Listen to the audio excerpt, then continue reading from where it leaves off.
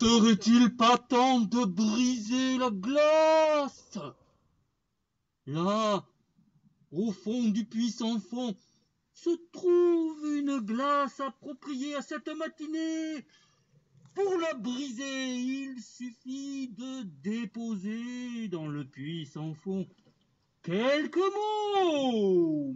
Mots d'accueil, mots de qui est, ce dont on a envie, peut-être ce qu'on a peur, ce qu'on ressent, ce qu'on veut et voudra partager.